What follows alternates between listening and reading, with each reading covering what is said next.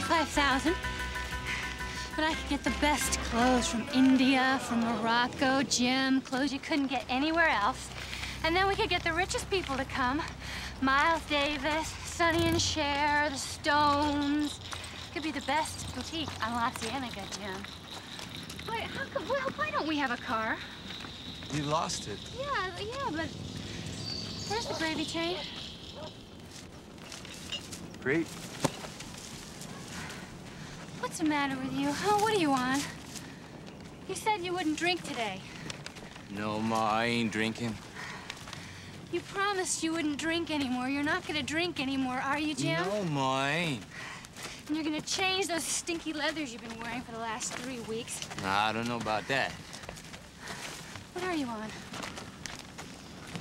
Ooh, it's just some low-grade acid. It's not heavy. Oh, Jim. Oh, God. You know, I Oh. cooked. I cooked the stuff. Oh, baby, and it's people okay. are coming, you know?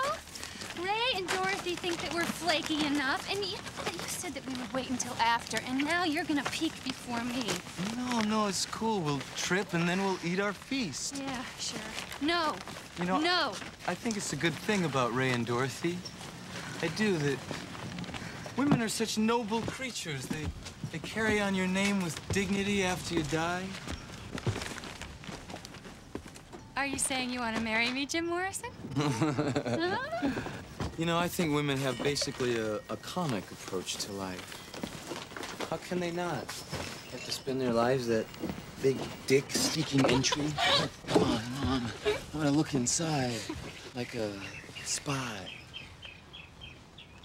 I'm a spy in the house of love. I know the dream that you're dreaming of. I know the word that you long to hear. I know your deepest secret fear.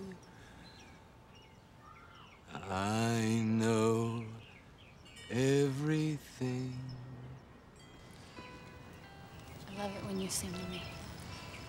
That's because I'm the poet and you're my muse. Lions in the street roaming, dogs in heat, rabid foaming.